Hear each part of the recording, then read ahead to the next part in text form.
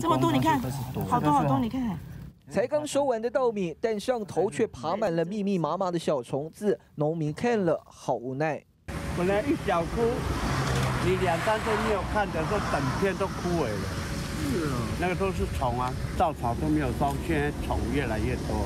它就是吸汁，像吸血鬼一样。嘿，它稻它稻子在刚出穗的时候呢，它会有非常多的汁，它就在那个稻壳上面，它刺进去像吸管一样，它就慢慢吸。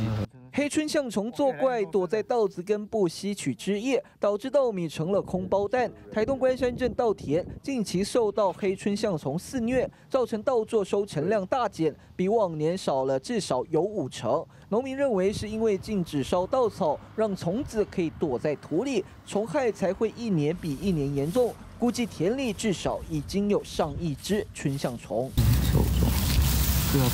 而面对这波虫虫危机，台东县府日前同意以专案方式开放二十号到三十号期间，农民可申请焚烧稻草。那这样子焚烧的效果，第一个是可以把虫卵、成虫杀的，还有一个就是水稻最麻烦的就是蚊菇病，蚊病是菌核都藏在稻草里面。